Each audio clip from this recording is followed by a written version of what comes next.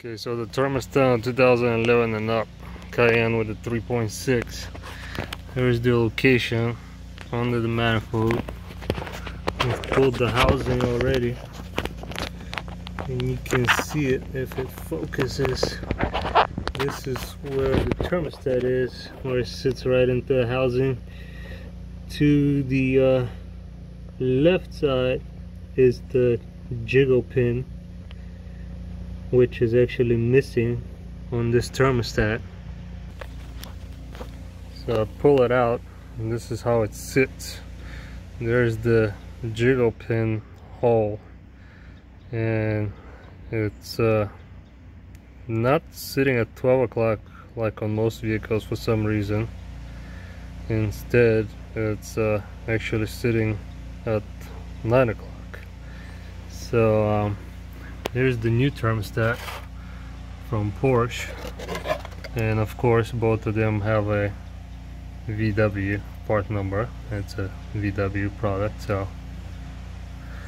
But here's the big difference that I've noticed between the new and old. So this one has no passages on the back. It's just a sealed part this one the new one does have some holes that passes it goes right into the inside. And then the jiggle pin is actually there and you can see it. And the way these thermostats are set up they can only go in one way. So when you put when you put this one in like I said the hole for the jiggle pin I don't know if mine is just missing or they all came from the factory just with an open hole but um, when you mount it on the original one that I'm pulling out right now the hole is at 9 o'clock.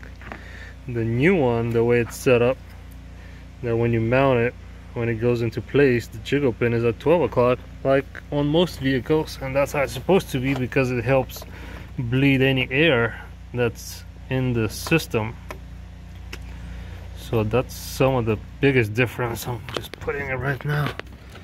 So you can see this one is in place now. And uh, there is the uh,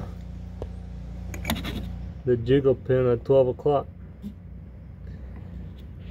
So I guess that's the new and revised part this is the part number right here for the new thermostat. And this is for the 2011 and up uh, Cayennes with the 3.6 VR6 engine.